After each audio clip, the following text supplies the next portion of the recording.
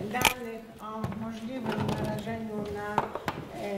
czynniki powstałe w wyniku pożaru, eksperci z Instytutu Medycyny Pracy e, wytypowali potencjalne możliwe skutki zdrowotne, posługując się klasyfikacją ICD-10, czyli tą najpopularniejszym sposobem e, odnotowywania rozpoznania w dokumentacji medycznej. Jeżeli chodzi o te skutki zdrowotne, to przede wszystkim w takiej sytuacji są to skutki działania drażniącego, ponieważ powstaje bardzo wiele substancji o działaniu drażniącym. E, Może to oddziaływać, jeżeli występuje w wysokich stężeniach, na populację zupełnie zdrową. Uwolnienie, tak, e, uwolnienie substancji drażniących może spowodować objawy, jeżeli występują one w wysokich stężeniach u osób zdrowych i będą to objawy podrażnienia zarówno ze strony górnych, jak i dolnych dróg oddechowych, czyli kaszel, drapanie w gardle, niekiedy duszność. E, U osób bezpośrednio narażonych, na przykład zatrudnionych w gaszeniu pożaru, mogłyby być to bardziej zaawansowane objawy,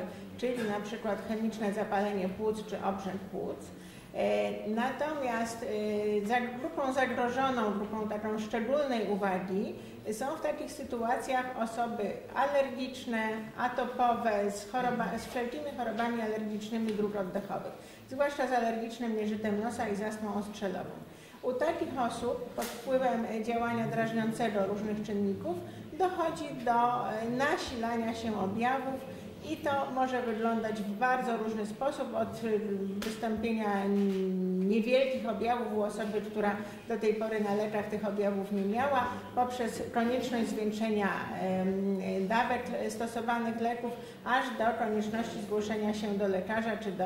oddziału ratunkowego z prośbą o interwencję, ponieważ te leki są niewystarczające. I ponieważ takie potencjalne skutki zdrowotne wytypowaliśmy, zidentyfikowaliśmy, jedynym sposobem takiej sytuacji było zwrócenie się e, do NFZ-u z pytaniem, czy odnotowano zwiększoną liczbę porad e, z określonych powodów, które zostały przez nas wskazane.